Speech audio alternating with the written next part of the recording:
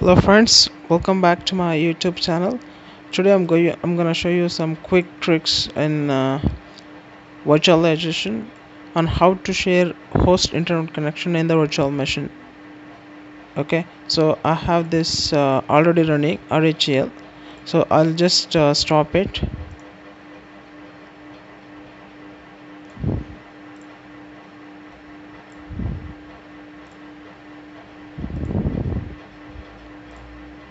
okay. Uh, select the instance where you want to share the internet and go to settings. Under network click on adapter 1 and select enable network adapter. Okay. And then attach to under attach to select host only.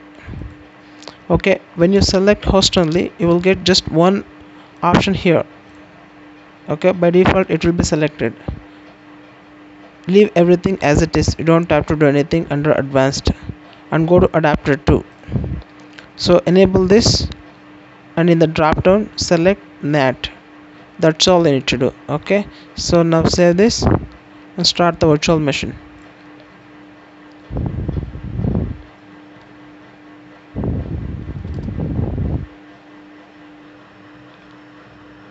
So let us log in okay the virtual machine has come up. So let us check the internet connection.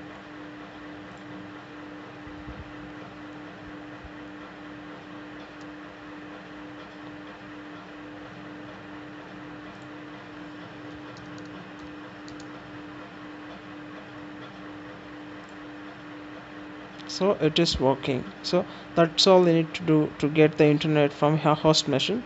Thanks for watching. Thank you